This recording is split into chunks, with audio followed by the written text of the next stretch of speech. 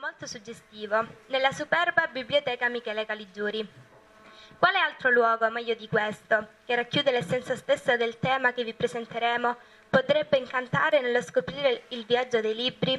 Di questo incredibile viaggio ne discuteranno la bibliologa e storica Antonella De Vinci, che si è occupata delle postille autografe di Tommaso Campanella e ha fondato e diretto la Casa del Libro Antico alle Mezze Terme, insieme a Mario Caligiuri, intellettuale e docente dell'Unical, comunicatore, saggista politico, promotore culturale e direttore del Master di Intelligent all'Università della Calabria promosso nel 2007 insieme a Francesco Costiga, nonché storico sindaco di Saverio Mannelli.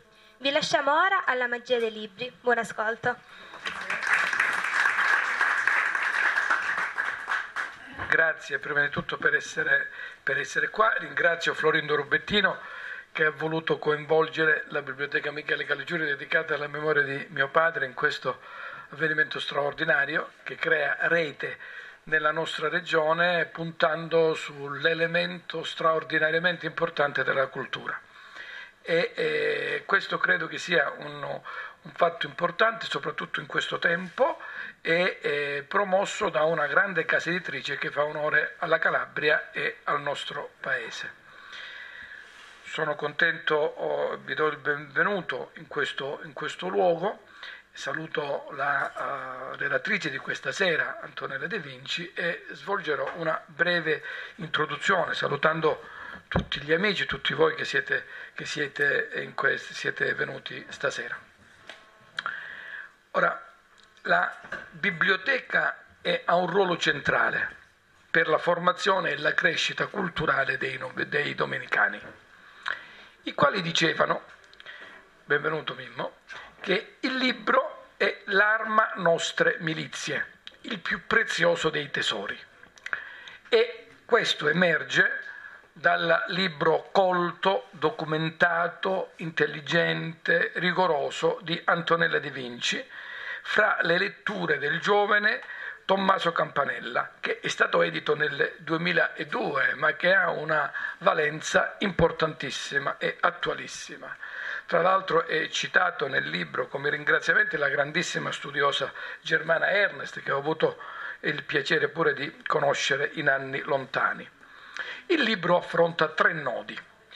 Primo, la lettura tra 500 e 600, il secondo, il convento dei domenicani a Nicastro e terzo, Tommaso Campanella, studente. Ora,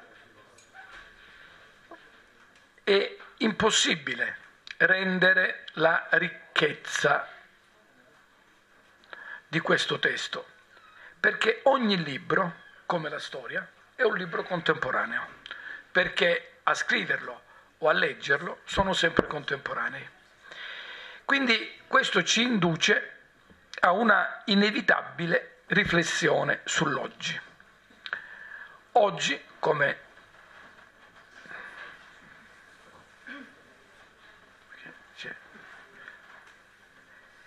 Oggi, come nel, lib, nel periodo di Tommaso Campanella, siamo alla presenza di quello che Gianzonio definì un mondus furiosus, cioè un mondo pieno di straordinari cambiamenti, di sconvolgimenti importanti.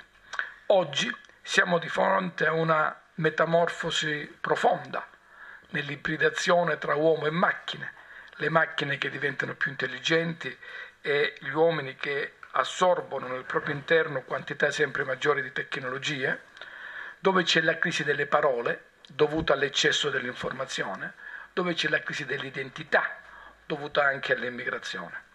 Giansonio definiva appunto l'Europa del Cinquecento un mondus furiosus, perché c'era stata la scoperta dell'America poco prima, c'era la, la, riforma luterana, anglicana, calvinista, che ridussero l'Europa a un immenso campo di battaglie. Nel 1571 c'è la battaglia di Lepanto ed era stata inventata il secolo prima la stampa, che poi nel Cinquecento esplode e provoca tutta una serie di conseguenze. La stampa inventata da Gutenberg nel 1455. Dieci anni dopo c'è il primo libro stampato in Italia, Subiaco, i Lactanzi Firmiani Opera. Dieci anni ancora dopo, nel 75, in Calabria il primo libro in ebraico pubblicato proprio nella nostra regione, il Pentateuco.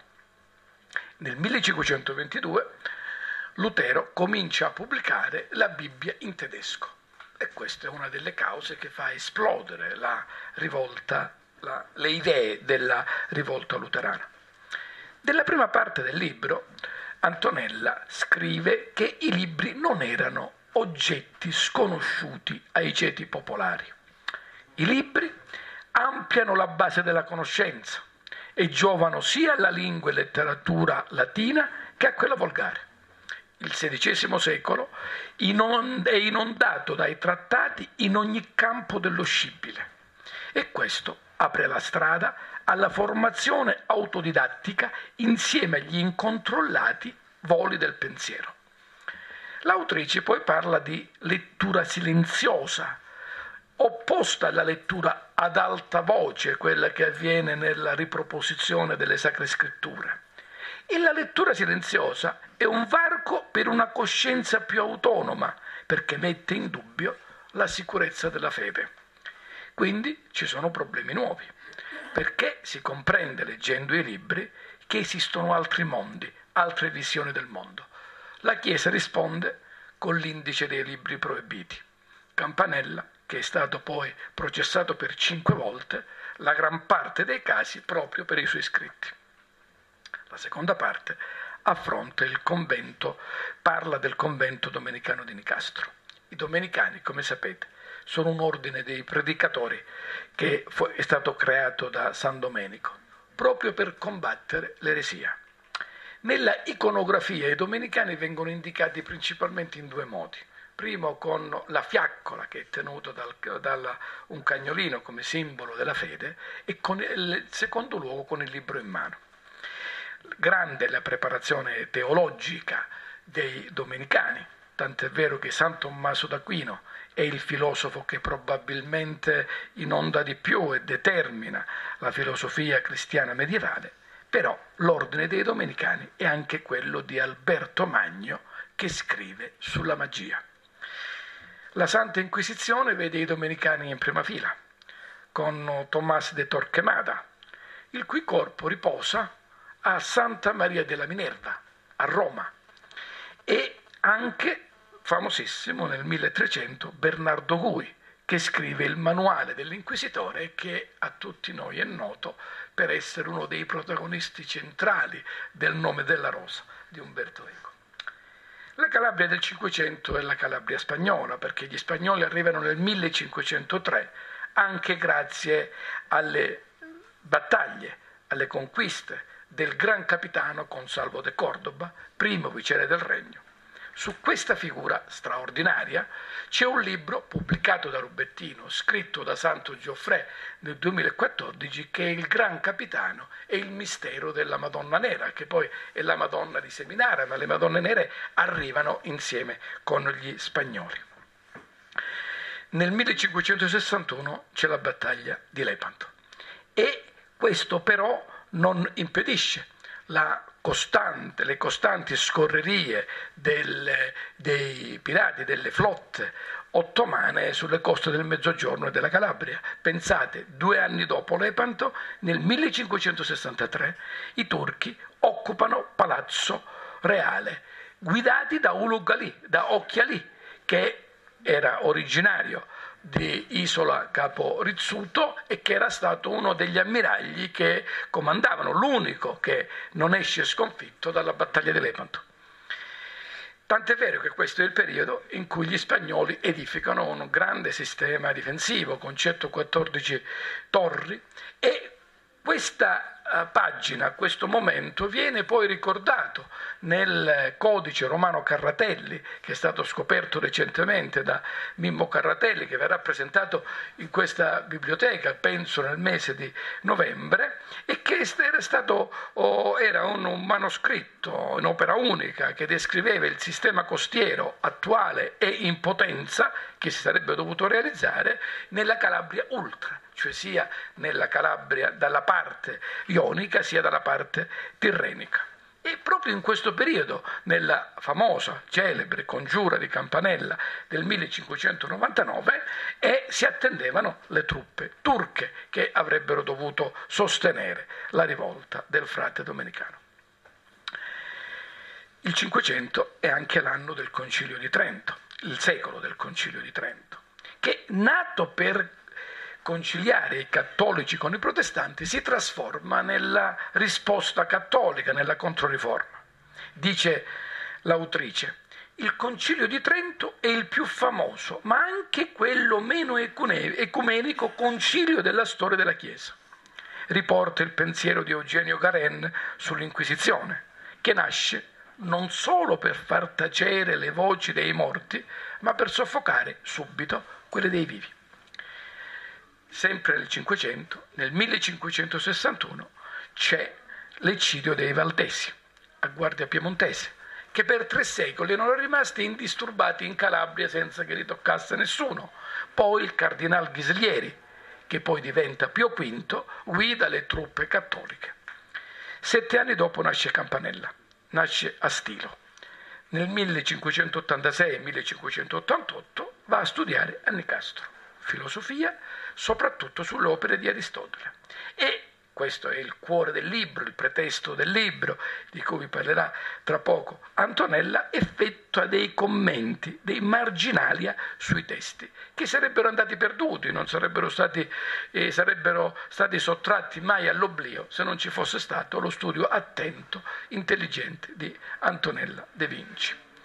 Sempre a Nicastro, Campanella scrive la prima opera andata perduta, De Investigatione Rerum, e quindi questa parte molto ben documentata. Perché c'è proprio a Nicastro e in Calabria questo convento domenicano? E perché la Calabria diventava un baluardo della fede, sia perché era il primo approdo, come oggi avviene per il, gli immigrati, per, per, per, gli immigrati il primo approdo delle, delle, delle flotte ottomane e anche però all'interno. Nel Cinquecento in Calabria da, viene mandato nel 1559 Gianluigi Pascale da Calvino per diffondere il verbo protestante, mentre dalla Calabria si sposta Valentino Gentile, nato a Scigliano nel 1516, a cui Luca Dante, in un bellissimo libro pubblicato dall'edizione normale nel 2014, parla del, di, di questa figura inserita nel dissenso religioso del Cinquecento. Dopo Nicastro, Campanella va a Cosenza e scrive la nostra autrice che Campanella era inquieto perché dopo Nicastro e Cosenza l'educazione dei domenicani non lo soddisfaceva e aveva studiato sui commentari di Aristotele sia quelli greci sia quelli latini che quelli arabi e approfondisce poi lo studio di Platone, di Plinio e di Telesio. Qual è il pensiero del, di Campanella? Che era eversivo. La realtà dei sensi e la ragione ci danno la dimensione della realtà, non la fede. Quindi la filosofia sensibus demostrata del 1591 è il libro che lo fa andare per la prima volta a processo. La sua visione del mondo poi viene eh, sviluppata nelle segrete di Castel Sant'Elmo dove rimase per 27 anni, la città del sole, una delle più grandi utopie della storia che viene interpretata poi successivamente da Francesco De Santis con la sensibilità tipica di chi analizza la questione sociale dell'Ottocento in questo modo, come riporta l'autrice. E la ragione determina e giustifica i movimenti politici che sono vani se non hanno come base l'istruzione e la felicità delle classi più numerose. L'anno dopo inizia a scrivere in latino il libro De sensu rerum et magia, quindi un'altra dimensione, che viene pubblicato solo nel 1620 a Francoforte. E il libro si conclude richiamando e riportando le due anime del Rinascimento. Da un lato Paracelso e Campanella, dall'altro Galileo, a cui Campanella dal carcere dedica nel 1616 l'apologia, e Isaac Newton nel secolo successivo. Newton che è contemporaneamente il primo degli scienziati e l'ultimo dei maghi. Quando muore, trovano, i suoi eredi trovano delle casse riempite di manoscritti vergati a mano da Newton che parlano dell'alchimia. Nel tardo Cinquecento, scrive Antonella, si era venuto ad acuire cupamente il senso dell'impotenza dell'uomo a governare il proprio destino e il progetto del futuro passava attraverso i segni, l'interpretazione delle profezie e degli avvisi, l'analisi delle congiunture astrali, delle comete, delle folgori, delle croci di fuoco, delle spade, delle travi o altro che gli uomini vedevano apparire e scomparire nei cieli. Ecco, il Cinquecento è anche il secolo di Michel de Notre Dame, di Nostradamus, il più profetico dei veggenti di questo, di questo secolo. Ebbene, queste suggestioni e tante altre provengono da questo libro di Antonella De Vinci, fra le letture del giovane Tommaso Campanella. Grazie per essere qua.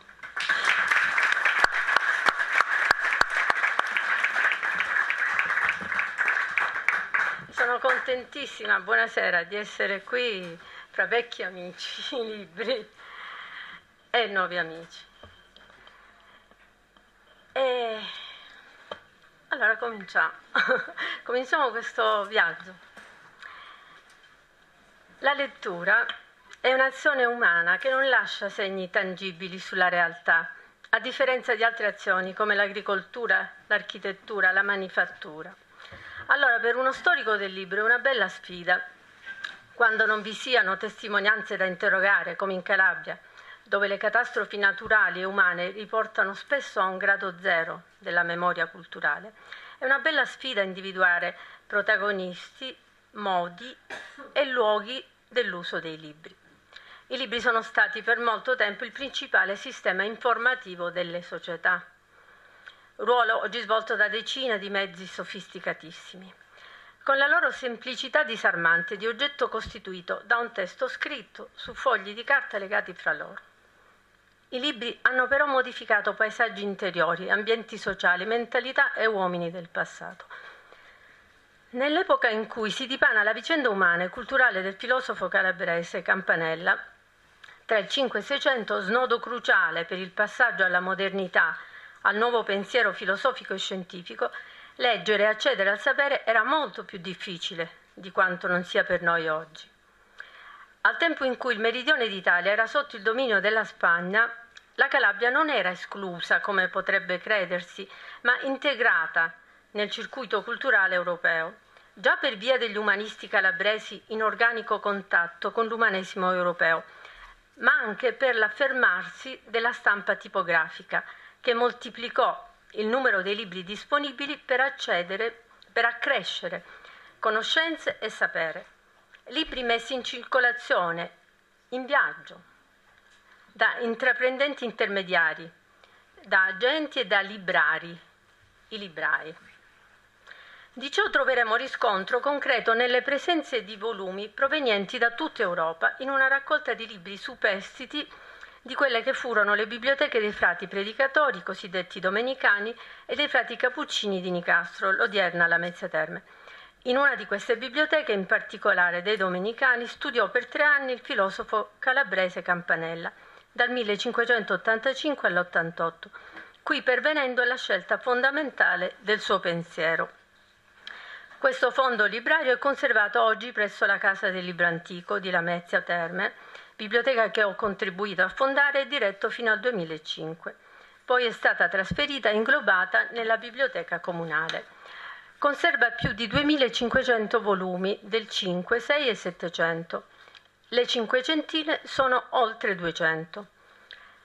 Gli anni tra il 500 e il 600 furono per la Calabria uno dei periodi più fecondi dal punto di vista delle relazioni culturali.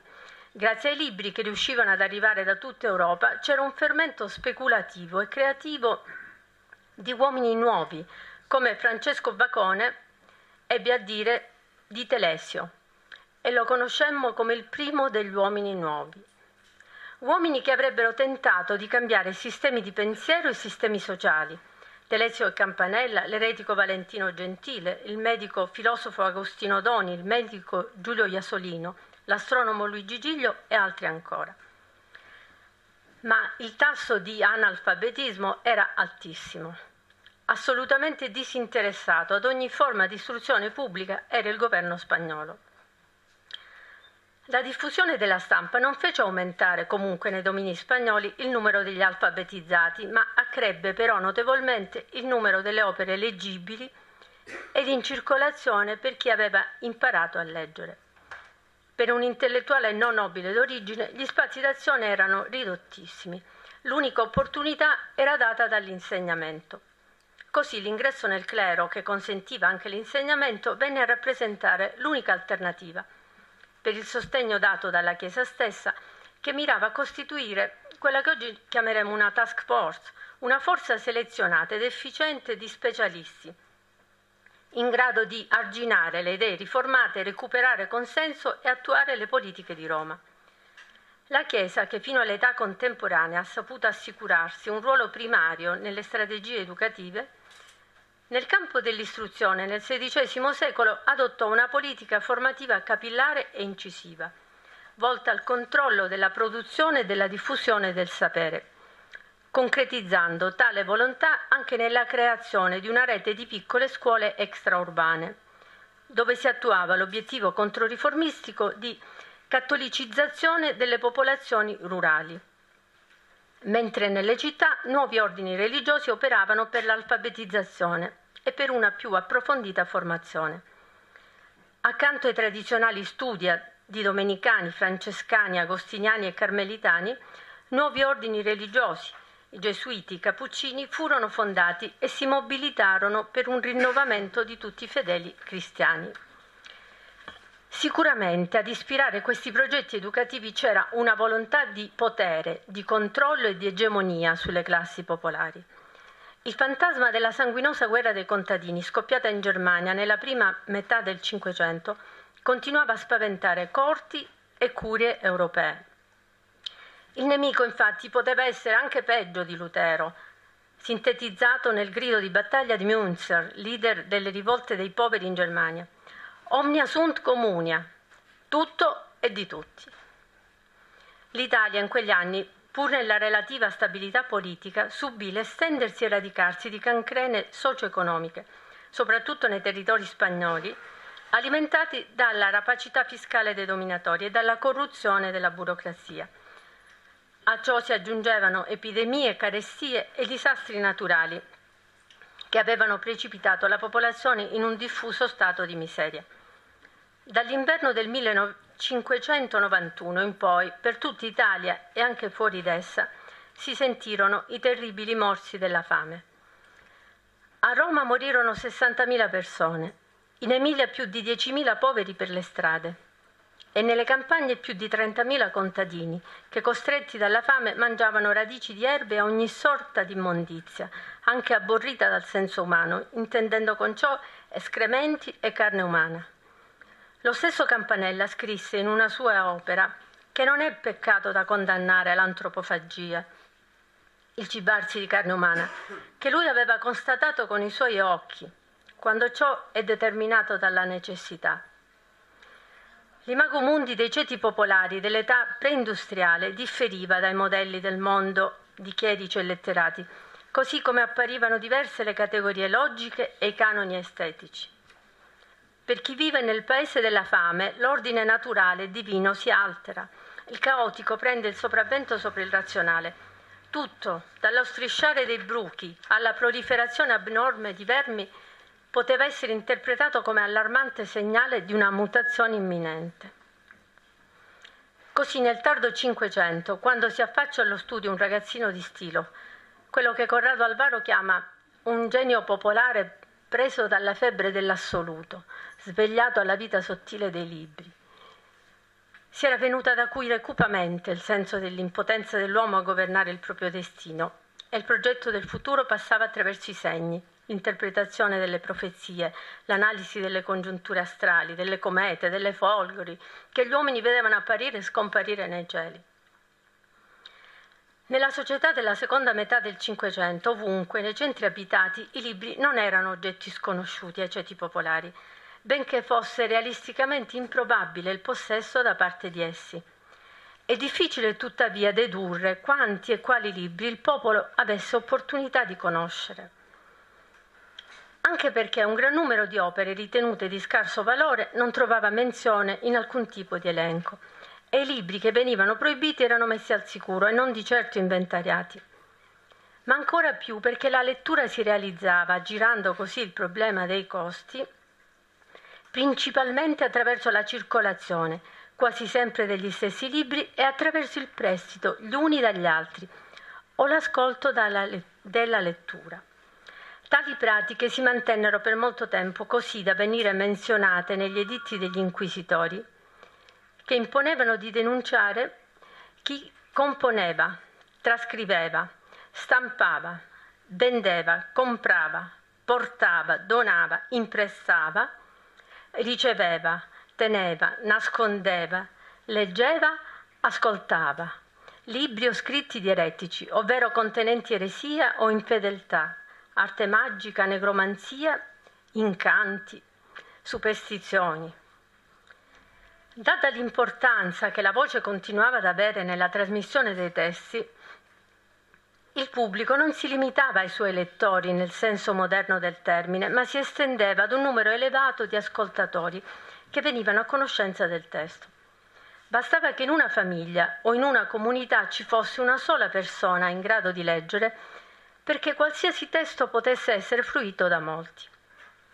Nel contempo la lettura silenziosa, possibilmente solitaria, progrediva non solo negli ambienti colti ma anche fra i più umili e poiché tale pratica annulla lo scarto fra il mondo del testo e il mondo del lettore e conferisce una forza di persuasione inedita ai testi, era anche vista dalle autorità come un incantesimo pericoloso che confonde nei lettori la frontiera fra realtà e immaginazione.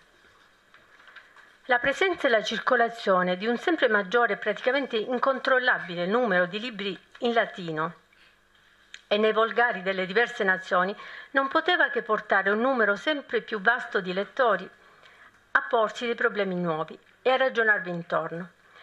E la sempre più facile possibilità di conoscenza visiva del mondo naturale garantita dalla produzione di libri scientifici illustrati non poteva che accrescere la tendenza a vedere in modo nuovo un mondo che sempre più nuovo appariva a un numero sempre più esteso di persone. E tutto questo leggere e rileggere e vedere e rivedere provocava la composizione e la stampa di opere nuove, sempre più lontane dalle antiche e sicure coordinate del sapere e della visione del mondo da secoli consolidati.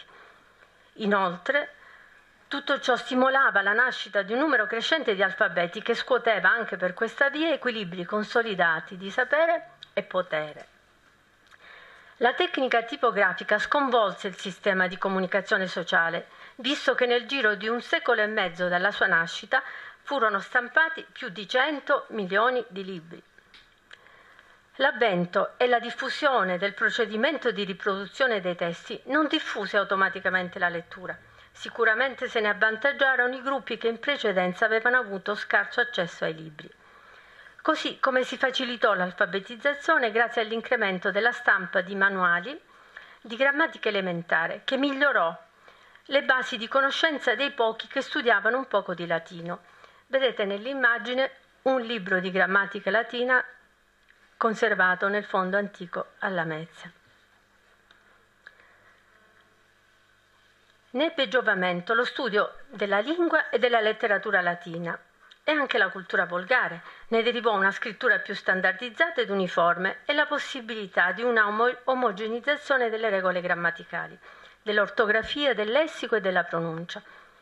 Il XVI secolo fu inondato dai trattati in ogni campo dello scibile, volti al perfezionamento individuale e intesi a fornire tutte le risposte a tutte le domande possibili dell'uomo dall'anatomia all'arte militare, dall'esercizio morale alla contabilità. E si aprirono la strada alla formazione autodidattica e insieme agli incontrollati voli del pensiero. La Chiesa di Roma corse ai ripari organizzando un apparato di controllo rigoroso che caratterizzò la cosiddetta Controriforma. Nel 1542 a Roma venne fondata la congregazione del Sant'Uffizio, il cui obiettivo principale era organizzare il movimento di reazione e spesso persecuzione verso i protestanti. Papa Paolo IV, che era stato inquisitore generale, promulgò nel 1559 il primo Index Librorum Prohibitorum, l'indice dei libri proibiti, inteso come strumento di controllo centralizzato a livello universale. Negli anni seguirono diverse edizioni. Qui vediamo l'immagine dell'edizione conservata alla Mezia, che è del 1711, perché ogni nuova edizione aggiornata annullava la precedente. Il meccanismo censorio creato dalla Chiesa con Inquisizione, Sant'Uffizio e Indice funzionò in modo agguerrito per escludere dalla lettura, proibendole o censurandole parzialmente, sia opere antiche che recenti, ritenute contrarie alla fede. Nell'indice comparvero anche le opere dei filosofi Telesio, Bruno, Campanella, Erasmo e scrittori come Boccaccio, Machiavelli e Dante. A qualcuno degli stessi inquisitori accadde di cadere nella ragnatela della censura. Per esempio Roberto Bellarmino, San Roberto Bellarmino.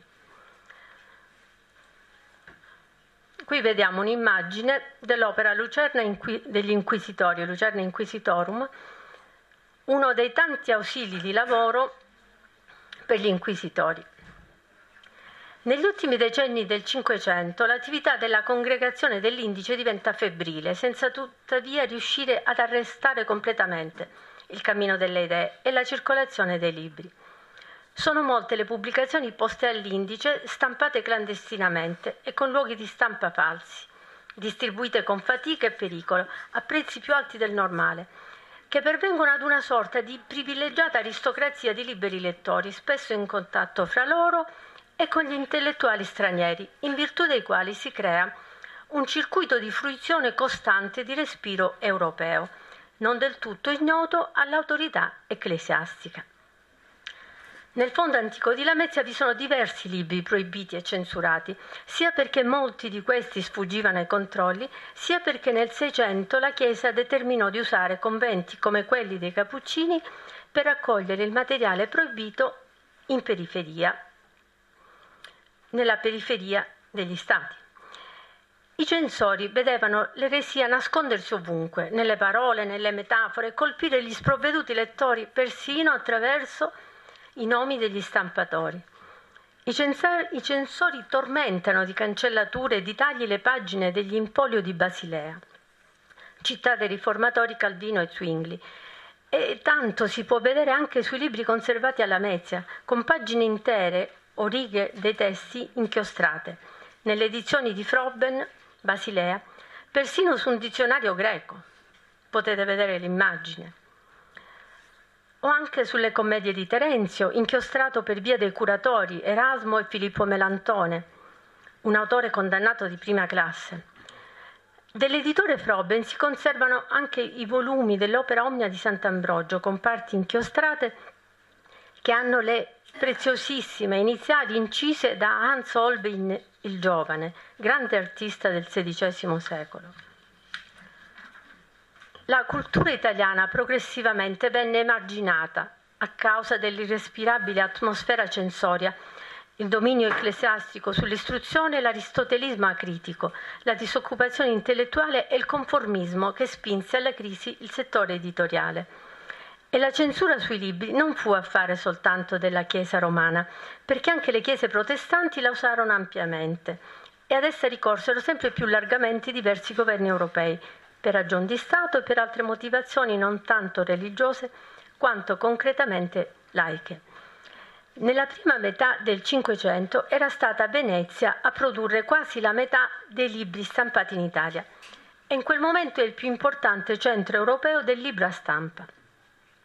Proprio a Venezia Aldo Manuzio, sue preziose edizioni sono presenti alla Casa del Libro Antico, Aldo Manuzio inaugurò una collana in formato ridotto adottando un nuovo carattere, il corsivo.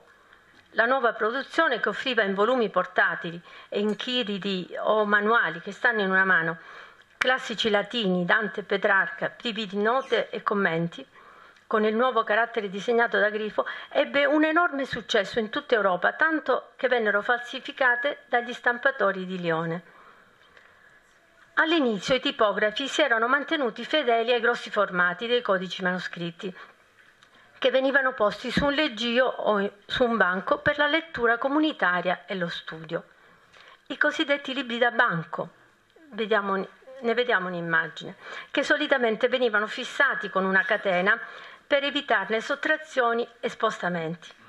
Ma quando nacquero i formati più piccoli, i libri da bisaccia e i libri da mano, il libro diventa un oggetto personale da usare da soli, trasportare, magari nascondere. Aldo Manuzio coi suoi libri portatili contribuì a far uscire il libro dal chiuso degli studioli e delle biblioteche, favorendo l'uso nei viaggi o nei luoghi e nei tempi del riposo extraurbano, specialmente da parte di professionisti e gentiluomini, gentiluomini colti. Scusate. A Venezia, fra le dinastie di editori librai attivi, ci sono i Giunta. Vediamo un'immagine di un frontespizio di, uno, di un'edizione giuntina. Presenti i Giunta nel fondo antico di Lamezia con le loro edizioni sia veneziane che prodotte a Lione. I Giunta divennero celebri soprattutto per aver creato una rete di vendita davvero europea, dalla Spagna alla Polonia la loro impresa fu sorretta da un'abile impostazione imprenditoriale che suddivise i rischi finanziari tra produzione libraria, mercanzia, proprietà fondiaria, immobiliare. Luca Antonio Giunta allargò ulteriormente i suoi negozi a dimensione mediterranea ed europea, affiancando ai libri nei suoi magazzini anche balle di seta e di spezie. Anche i Valgrisio, i Sessa, gli Scotto e Giolito lavorarono molto e numerose sono le loro edizioni nel fondo di Lamezia. Vediamo qui il frontespizio di un'opera di Valgrisio, qui di Sessa. Venezia era uno snodo centrale dei commerci fra Europa e Medio Oriente. Accanto ai libri in latino e in volgare si stamparono anche testi in ebraico, armeno, in alfabeto cirillico e persino un Corano in arabo che per il suo editore si rivelò però un disastro totale. Diverso successo per i libri di Manuzio. In una lettera al riformatore Zwingli, un umanista svizzero gli narrava come il suocero di Frobben aveva appena mandato a prendere a Venezia un intero carro pieno di classici, nelle migliori edizioni di Aldo, e continuava. Se ne desideri qualcuno, dillo subito e mandi contanti, perché non appena il carro arriverà, per ogni libro ci saranno 30 clienti che grideranno solo qual è il prezzo. Una vera svolta si realizzò quando gli editori iniziarono a produrre per un pubblico che per la maggior parte era loro ignoto e fisicamente aveva sede nei luoghi più disparati. Aldo Manuzio ancora fu il primo che seppe incontrare il gusto di tanti lettori sparsi in tutto il mondo occidentale, avvalendosi però per la sua distribuzione non solo della solidità delle rotte mercantili veneziane, ma anche della pubblicità degli stessi studiosi, entusiasti dei suoi libri. Oggi diciamo il passaparola. Si circondò di collaboratori del calibro di Erasmo da Rotterdam, che narrava come Aldo e lui lavorassero a stretto contatto con gli stampatori e nell'officina controllavano perfino l'allineamento dei caratteri, Lavoravano così intensamente da, dice Erasmo, non avere tempo neanche per grattarsi le orecchie. La vicenda di Aldo Manuzio fu un'avventura culturale che lo pose subito, già agli occhi dei contemporanei, su un piano diverso e in seguito difficilmente raggiungibile da altri editori. Fu grazie a lui che la cultura italiana si insediò nei centri del sapere accademico in Inghilterra. Tutti gli editori stampatori e i rivenditori di libri italiani, fiamminghi, tedeschi e francesi avevano le stesse difficoltà a commercializzare solo libri e anche i grandi pareggiarono il bilancio commerciando altri prodotti. Tutti o quasi spedivano o ricevevano balle di carta. I librai delle piccole città facevano commercio di prodotti locali, la cui esportazione consentiva loro di far quadrare i conti.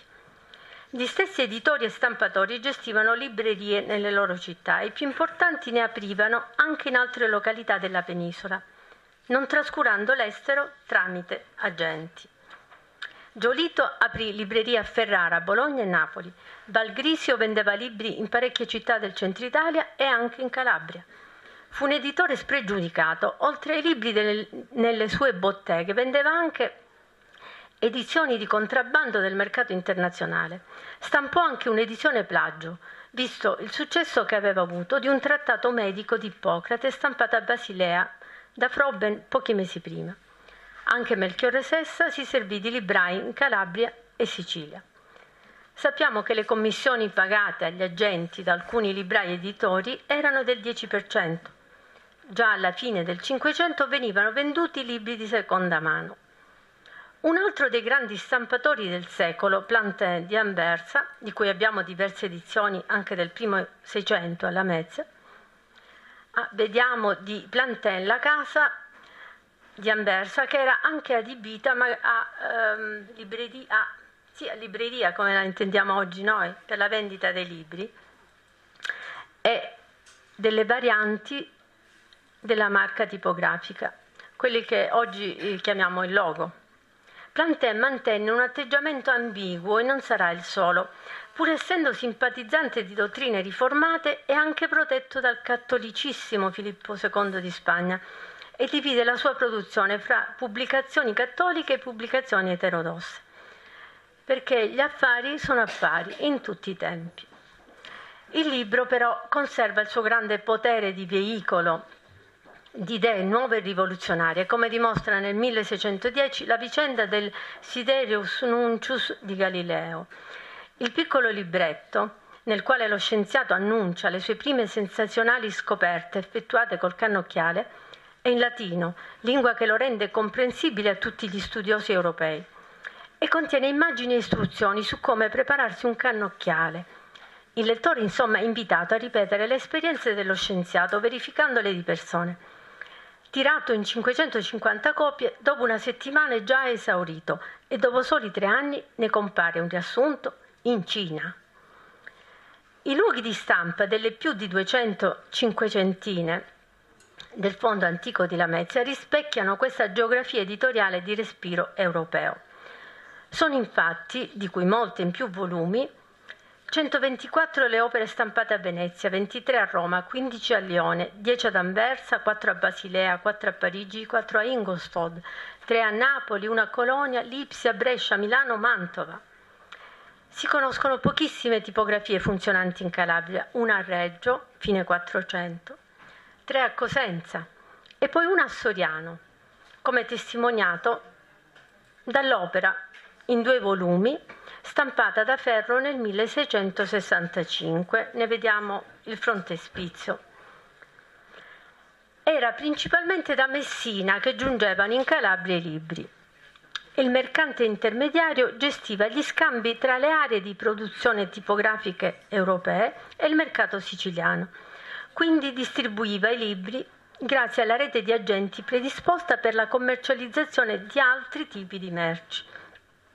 Il mercante di città comprava dall'intermediario grossista e vendeva al minuto e si trasformerà in un mercante operatore culturale denominato librarius, il libraio. Infine c'è, la, c'è l'ambulante, cioè il venditore mobile che opera nel circuito delle fiere spostandosi dall'una all'altra, trasportando le merci su un animale da soma o con una gerla sulle spalle e assicurando una distribuzione capillare del prodotto. Dalle figure di due intermediari dell'epoca si comprenderà meglio il meccanismo. Bartoletti opera a Palermo nel Cinquecento con una complessa struttura fra porti, approdi, caricatori, noleggio di caravelle o galeoni assicurazioni per uomini e merci sulle navi. È l'intermediario tra i centri di produzione libraria europei e il mercato librario siciliano sull'asse Lione-Palermo o Venezia-Ragusa-Catania-Napoli, utilizzando il classico scambio fra frumento e altre merci, in questo caso libri.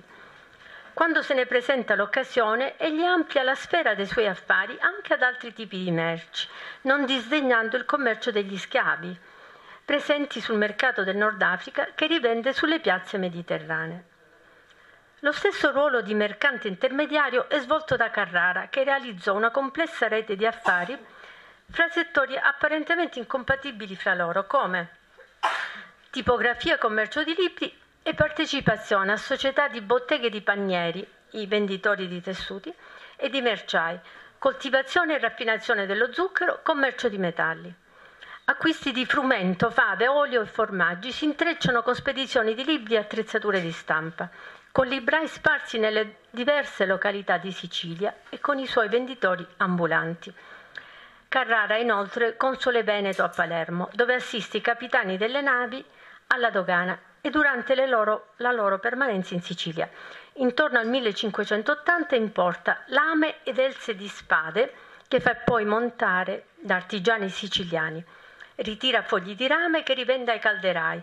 Esporta dall'isola frumento, fave, sale e formaggio, in cambio di libri da Venezia.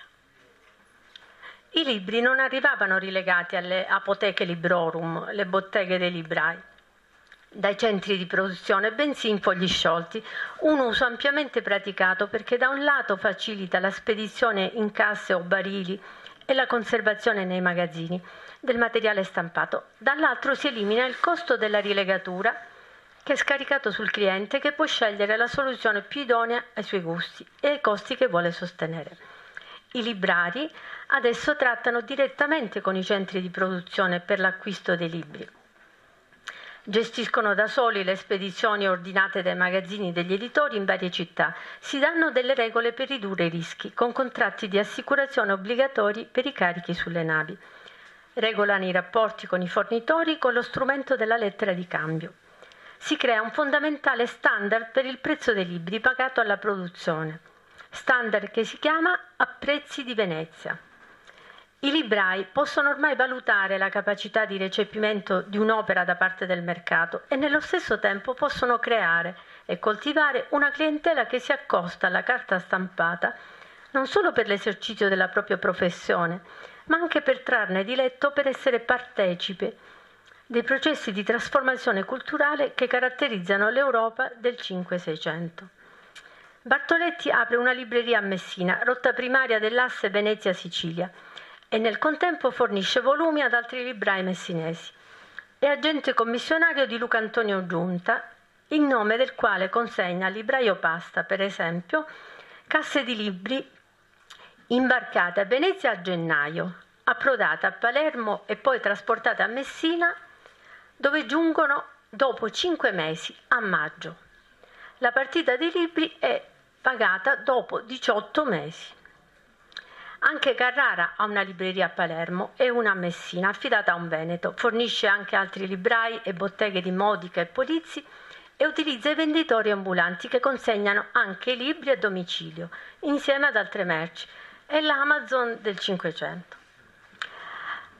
Carrara riesce a creare una rete di clienti di qualità, soprattutto giuristi, che fidelizza attraverso differimenti di pagamenti e diventa anche stampatore. Importa casse di caratteri da Venezia e le affida a un tipografo messinese per realizzare nella città dello Stretto la stampa di libri di musica e di grammatiche facilmente vendibili per le scuole. Si occupa anche del commercio dell'usato, investendo capitali nell'acquisto di biblioteche dismesse da privati, da rivendere tramite altri librai. Molti aprirono botteghe di librai a Messina, anche un francese, tale Embert, di cui è interessante scorrere l'inventario dei beni alla sua morte. Embert, proprietario di una bottega di Mercedius, di merciaio, offriva ai suoi clienti libri rilegati e in fogli sciolti, stampe anche colorate, quadri, carta per scrivere, penne d'oca e calamai, piombo e stagno per rivestire l'interno delle pentole in rame attrezzi per fabbro ferraio, attrezzi per sartoria casalinga, bigiotteria, borse, guanti, specchi, pettini francesi, rasoi di acciaio, forbici, spazzole, bilance di precisione, cappelli, bacili, candelabri, calze di lana, bottoni, ferri di lancia, catenacci. Negli scaffali di Ember sono presenti anche 166 titoli per complessivi 414 volumi.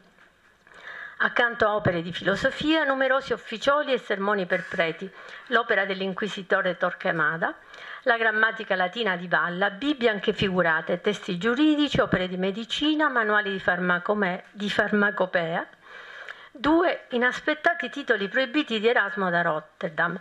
Insomma, ce n'è per tutti i gusti. Specchio dell'evoluzione della domanda che diventa più qualificata è la bottega di Piffari nel 1597. È un libraio pisano che dispone sui suoi scaffali a Messina di 1217 titoli per complessivi 2816 volumi che coprono una gamma di materie amplissime. Accanto alle tradizionali aree dedicate a filosofia e teologia vi sono numerosi volumi che rispecchiano la particolare attenzione che si dedica alle nuove scienze, matematica, fisica, architettura, agricoltura e innovazioni tecniche. Numerosi altri volumi sono dedicati alle nuove frontiere della medicina, quali la pazzia o le malattie venere la cultura della controriforma, l'indice dei libri proibiti, la diversificazione degli interessi dei clienti, il moltiplicarsi degli ordini religiosi che condizionano con le loro richieste la produzione libraria provoca, provocano profondi cambiamenti nell'offerta dei cataloghi degli editori e in conseguenza modificano l'assortimento dei titoli sugli scaffali dei librai. Nel Seicento, nelle librerie di Palermo, il numero dei titoli e l'entità delle copie a disposizione dei clienti aumenta in modo vertiginoso, mentre il rapporto quantitativo tra area umanistica, teologica e scientifica si capovolge, con una predilezione progressiva dei lettori per i libri d'argomento scientifico. In due inventari di librerie di Palermo, compilati intorno al 1620, vediamo che la bottega di Meli ha un ampio settore dedicato ai libri usati, soprattutto libri di diritto e un'ampia offerta di libri illustrati con stampe incise o xilografate. Il libraio Maringo, invece, si è specializzato nella vendita di spartiti musicali. Nel suo magazzino si trovano 68 libri di musica, descritti con cura, mostrandoci l'apertura della Sicilia alla nuova sensibilità musicale che caratterizza il Seicento, con l'imporsi del madrigale polifonico o delle cantate da camera. Arrivati a Messina, i libri per la Calabria affrontavano un complicatissimo viaggio. Ci si muoveva a cavallo, ma per lo più sul dorso di un asino e a piedi. Le principali vie di comunicazione coincidevano a tratti con le antiche strade consolari romane, che erano in stato di abbandono e attraversanti terreni impaludati. Erano la via interna Agna o Popilia da Capo a Reggio e la via costiera Traianea, entrambi sul versante tirrenico che insieme alla via ismica proveniente da Squillace si congiungevano appena fuori della piana di Sant'Eufemia. Progressivamente si era affermata la tendenza ad allontanarsi dalla costa. Le popolazioni per i loro traffici seguivano percorsi interni ritenuti più sicuri. Nel 1562, per effetto della prima organizzazione del servizio postale, vennero ripristinati dei punti di, di tracciato consolare della Popiglia. Un importante insegnante domenicano, dovendo raggiungere dalla Sicilia Cosenza per inaugurare l'anno accademico, era il rettore, temeva l'avventuroso viaggio attraverso burroni, montagne rovinose e fiumare, sicché oppose resistenza per timore di perdere le casse con i propri libri e manoscritti, necessari per le, per le lezioni. Era così terrorizzato che fu necessario convincerlo con un grosso incentivo in denaro. Nel 1585 Tommaso Campanella, diciassettenne, giunge a Nicastro per proseguire la sua formazione filosofico-teologica di frate domenicano. Vi rimase tre anni. A Nicastro, nel 1585, il giovane domenicano trova una biblioteca ricca di volumi e aperta a diversi filoni di studio. Si sa che per i domenicani il libro era arma della loro milizia. Il convento nicastrese era sede di studium particolare senza conferimento di gradi accademici, ma era passaggio obbligatorio per specializzarsi nella filosofia con Aristotele e la teologia con San Tommaso. Il convento domenicano era integrato in una vasta rete scolastica di cui beneficiavano molte zone della Calabria. Nel convento si tenevano anche lezioni a scolari esterni per una istruzione elementare. Nella sua opera Sintagma dei miei libri e sul corretto metodo di apprendere, composta a Parigi, Campanella riferisce che in gioventù nei conventi calabresi studiò tanti di quei libri da poter usare e coniare il termine per leggere, indicando una speciale intensità di lettura, iperleggere, superleggere. Gli bastava leggere infatti un libro una volta per ricordarlo per sempre. Qualche anno dopo aver lasciato la Calabria in un primo processo a Napoli, Campanella venne accusato, tra l'altro, di aver acquisito tutta quella conoscenza ritenuta incredibile per un giovane di 23 anni grazie a uno spirito diabolico personale. La sua risposta amara e famosa dirà di aver consumato più olio lui per la lampada a leggere che loro vino e che certamente il suo diavolo familiare lo teneva nascosto, sì, nell'unghia del mignolo. In un processo seguente lamenterà un forte abbassamento della vista, causato proprio da tutte le letture al fiocolume, sulle coperte pagine dei libri della biblioteca domenicana. Quante macchie d'olio sono cadute negli anni agli antichi lettori, quante ditate di polpastrelli sporche di inchiostro. Se potessimo fare delle indagini su queste vere e proprie impronte digitali o sul DNA dei lettori, che sicuramente svoltavano le pagine come fanno tanti, bagnando le dita con la saliva, chissà cosa potremmo scoprire.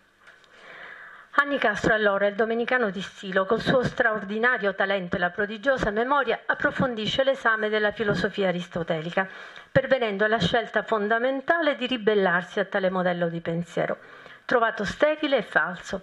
Legge libri canonici e di teologia. Si appassiona a Savonarola su un libro proibito. Studia le raccolte di sermoni, l'oratoria e la storia. Delinea un trattato metodologico, il De Investigatione Rerum, poi perduto, che è il primo tentativo campanelliano di fondare un nuovo metodo di conoscenza e scienza che rifiutando ogni dogmatismo intendeva riconciliare il sapere con l'esperienza e con la natura la natura come i sensi ci additano. La sua scelta di pensiero è compiuta, conosce già la filosofia telesiana e ne è entusiasta. Ho avuto l'onore di scoprire molti dei libri che Campanella studiò a Nicastro e sui quali ha lasciato una serie ricchissima di postille autografe e annotazioni. Fra tutte ne cito una sola. Sul foglio di guardia di un libro, in mezzo ad altri suoi appunti, compare l'abbozzo di una campanella col battacchio centrale, un poco inclinata a simulare il movimento. Questo simbolo rappresentò la missione che il domenicano sentiva di incarnare, di squilla, che sveglia miseri oppressi dal sonno dell'ignoranza e rassegnazione. È la campanella del sigillo personale, la campanella di Settimontano Squilla, pseudonimo usato per, li, per le sue liriche. Il mozzo che regge la campanella semi nasconde i numeri 7 e 3. Campanella fu sempre affascinato dalle pratiche esoteriche, dall'astrologia e dalle scritture criptiche. Nella numerologia il numero unico dato dalla somma della data di nascita di Campanella è 7. Indica la creazione. Il 3 indica la triplice manifestazione di Dio unico attraverso forza, saggezza e amore. Questi sono anche i significati dei nomi dei tre reggitori della città del sole, Pon, Sin, Mor, cioè potenza, forza, saggezza, amore. Sullo stesso foglio alcune frasi fanno capire che si era già avviato il suo sogno di rinnovamento sociale, descritto nella città del sole, anche influenzato dalle letture di resoconti di viaggi di esplorazione e conquista che avevano fatto riemergere un vivo interesse per il modo di vivere di paesi lontani e sconosciuti. Anicastro Campanella aveva letto un libro che all'epoca era un vero bestseller e che si conserva in un esemplare mutilo per l'eccessivo uso. È l'opera di Giovan Battista Ramusio delle navigazioni e viaggi, con le descrizioni di terre lontane, l'India, l'isola di Taprobana, che darà il nome alla sua città del sole, il regno di Malabar, la Cocincina, e dove si narrava dei viaggi di Vasco de Gama e di Amerigo Vespucci e delle usanze di popoli che adoravano il sole. E mi fermo con i consigli di Campanella per i lettori. Leggi i libri di tutti gli uomini e non respingere a prima vista ciò che non si accorda con il tuo intelletto. Infatti troviamo molte verità che prima collocavamo tra le cose impossibili. Non si deve disprezzare nessun libro e molto spesso indicazioni preziose si celano fra sciocche chiacchiere.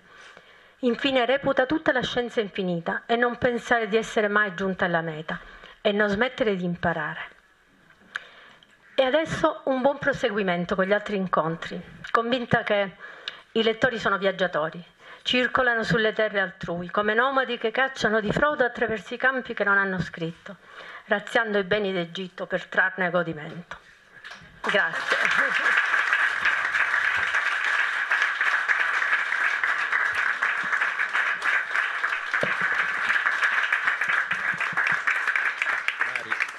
Antonella è stata, Antonella è stata bravissima, la...